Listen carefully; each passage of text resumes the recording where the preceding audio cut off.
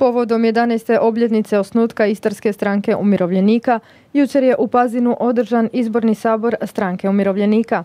Stranka je od svojih početaka do danas narasla gotovo 20 puta i prikupila članove iz svih dijelova Istre, od Umaga do Medulina. U svim jedinicama lokalne samouprave imamo svoje povjerenike. Istaknuo je tako predsjednik stranke.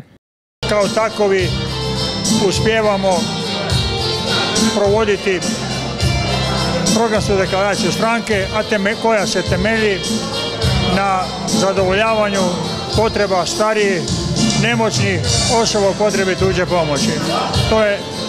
To je ključna naša aktivnost.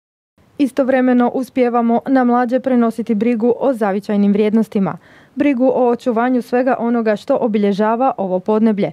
Istaknuo je Pliško i dodao kako su neki od njihovih programa prihvaćeni u potpunosti, a neki su tek u pripremi. U potpunosti žive programi pomoći u kući, paljativna skrb, posudionice ortopedskih pomagala, zavičajna nastava u svim osnovnim školama i predškolskim ustanovama, što je naše dijelo.